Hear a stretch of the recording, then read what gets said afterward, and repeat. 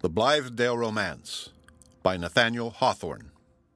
Preface In the Blithedale of this volume, many readers will probably suspect a faint and not very faithful shadowing of Brook Farm in Roxbury, which, now, a little more than ten years ago, was occupied and cultivated by a company of socialists. The author does not wish to deny that he had this community in his mind, and that, having had the good fortune for a time to be personally connected with it, he has occasionally availed himself of his actual reminiscences in the hope of giving a more lifelike tint to the fancy sketch in the following pages. He begs it to be understood, however, that he has considered the institution itself as not less fairly the subject of fictitious handling than the imaginary personages whom he has introduced there. His whole treatment of the affair is altogether incidental to the main purpose of the romance, nor does he put forward the slightest pretensions to illustrate a theory or elicit a conclusion, favorable or otherwise, in respect to socialism. In short, his present concern with the socialist community is merely to establish a theater, a little removed from the highway of ordinary travel, where the creatures of his brain may play their phantasmagorical antics without exposing them to too close a comparison with the actual events of real lives. In the old countries, with which fiction has long been conversant, a certain conventional privilege seems to be awarded to the romancer. His work is not put exactly side by side with nature, and he is allowed a license with regard to everyday probability in view of the improved effects which he is bound to produce thereby.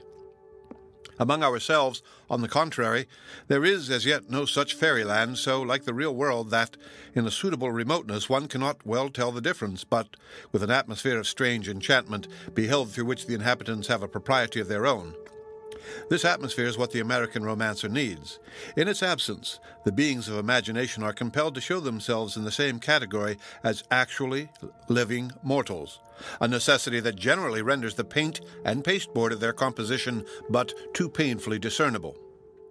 With the idea of partially obviating this difficulty, the sense of which has always pressed very heavily upon him, the author has ventured to make free with his old and affectionately remembered home at Brook Farm as being certainly the most romantic episode of his own life, essentially a daydream, and yet a fact, and thus offering an available foothold between fiction and reality. Furthermore, the scene was in good keeping with the personages whom he desired to introduce. These characters, he feels it right to say, are entirely fictitious. It would indeed, considering how few amiable qualities he distributes among his imaginary progeny, be a most grieving wrong to his former excellent associates were the author to allow it to be supposed that he has been sketching any of their likenesses.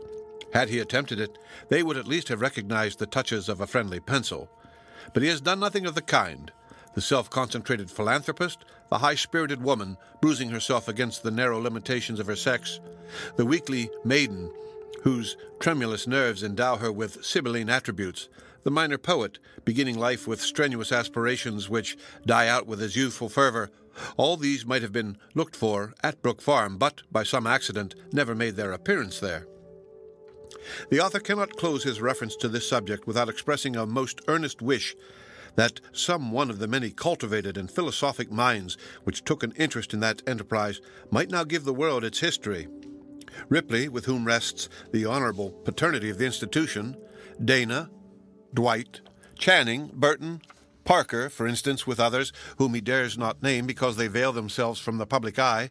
Among these is the ability to convey both the outward narrative and the inner truth and spirit of the whole affair, together with the lessons which those years of thought and toil must have elaborated for the behoof of future experimentalists.